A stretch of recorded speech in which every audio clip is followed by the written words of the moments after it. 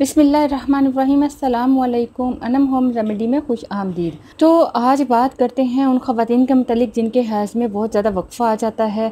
वो ख़वान जिनके has time पर नहीं आते तो जिनके पीरियड्स डिस्टर्ब हो चुके हैं, ये सब बॉडी की हार्मोनल प्रॉब्लम्स की वजह से या बॉडी के और किसी प्रॉब्लम की वजह से ये मसला हो जाता है।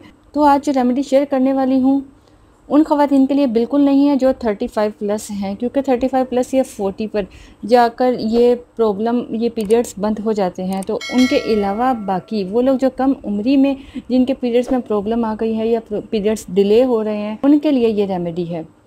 थायराइड प्रॉब्लम की वजह से या पीसीओएस की वजह से पीरियड्स में प्रॉब्लम हो जाती है। तो इसके अलावा वो खुवान जिनमें अंडा नहीं बन पाता, इस वजह से पीरियड्स डिस्टर्ब हो जाते हैं। इसके अलावा बहुत सारी प्रॉब्लम्स हैं, जिसकी वजह से पीरियड्स डिले हो जाते हैं मिस हो जाते हैं। तो ये रेमेडी जो शेयर करने वाली हूँ, बहुत आसान है, घरेलू है। इसे आप बिला झिझक इस्तेमाल कर सकते हैं और ये आजमूदा भी है।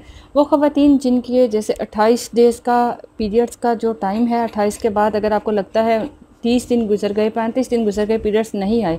उसके लिए आप इस रेमेडी को यूज़ कीजिएगा। पीरियड्स का साइकिल तेईस से पैंतीस दिन तक हो सकता है। वो ख़वान जिन्हें पीरियड्स बीस दिन बाद, पच्चीस दिन बाद आ जाते हों या थोड़ा ज़्यादा टाइम कि पैंतीस दिन गुजर जाए, ना आए तो वो लोग लाजमी इस रेमेडी को इस्तेमाल कीजिएगा। अब आइए मैं आपको बताती हूँ कि इस नुस्खे को कैसे बनाना है और ये नुस्खा, ये रेमेडी है क्या। इस होम रेमेडी को बनाने के लिए आपको जो पहली चीज़ चाहिए वो है दूध। आपने तकरीबन आधा गिलास दूध लेना है। आप एक गिलास भी ले सकते हो, लेकिन अपने खालिश दूध लेना है। खालिश दूध लेकर आपने एक पैन में इस दूध को डालना है और उसे हल्की आँच पर पकाना है, उसको बॉयल कर लें। ठीक है? इसमें आपने पाउडर का जो वो डिब्बे वाला दूध होता है, वो भी इस्तेमाल नहीं करना। खालिश इस्तेमाल करना है।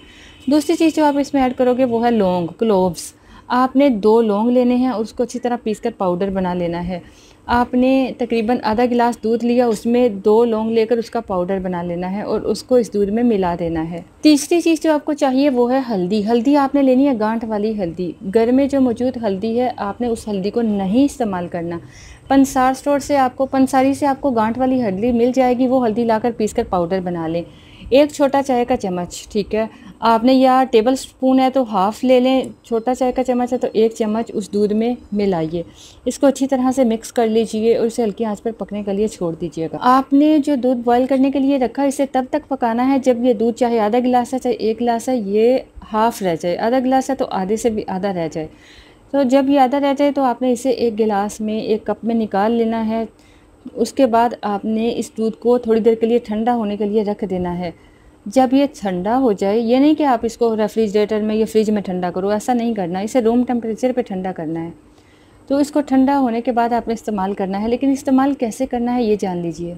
अगर आपका हैज़ तीस दिन से ऊपर हो जाए, पैंतीस दिन से ऊपर हो जाए, तब आपने इसको ज़रूर इस्तेमाल करना है। अगर हर महीने आपका ये मसला है तो इसको इस्तेमाल करने से आपको बहुत अच्छा रिज़ल्ट मिलेगा। आपने करना क्या है इस दूध को बनाने के बाद रात को सोने से पहले। जब आपको लगे पाँच सात दिन ऊपर हो गए हैं, हर माह ये मसला होता है तो आपने रात को सोने से पहले इस दूध को पीना है, खाना खाने के कोई घंटा बाद। इस दूध को पीकर आपने सो जाना है, इसको पीने के बाद आपने कोई और चीज़ इस्तेमाल नहीं करनी। इस रेमेडी को, इस नुस्खे को सिर्फ़ और सिर्फ़ तीन दिन इस्तेमाल कर लीजिए इन आपका जो हैज़ का मसला वो ठीक हो जाएगा।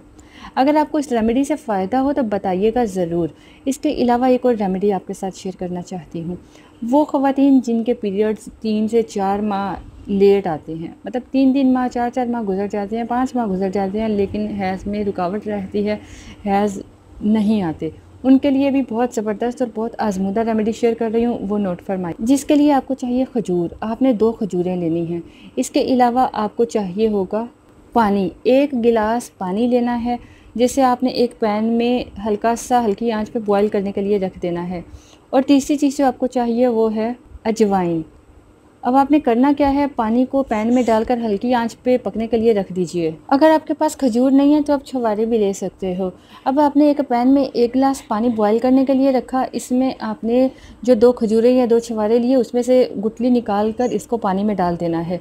दूसरी चीज़ जो आप पानी में मिलाओगे वो है अजवाइन। आपने एक छोटा चाय का चम्मच अजवाइन मिलाना है और इसको आपने तकरीबन 15-20 मिनट के लिए, बल्कि आधा घंटा के लिए भी आप इसको पका सकते हो, लेकिन हल्की आँच पे। पकाना इतना है कि एक गिलास पानी है तो आधा गिलास रह जाए। चाहे इसके लिए आधा घंटा लगे, आपने इसको हल्की आँच पर ही पकाना है ताकि इसका सारा असर पानी में निकल आए।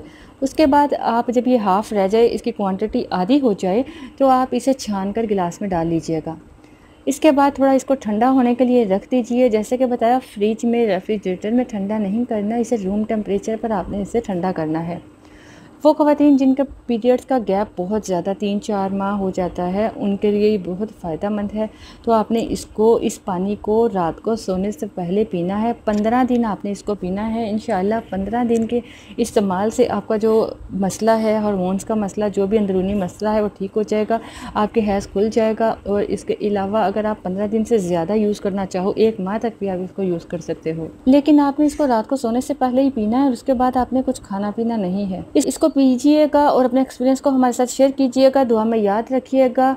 और अगर आपको इसके मतलब कोई क्वेश्चन पूछना है तो आप कमेंट बॉक्स में पूछ सकते हो। हम कोशिश करेंगे जल्द से जल्द आपको इसका जवाब दे सके। अपना ख्याल रखिएगा। अल्लाह हाफिज़।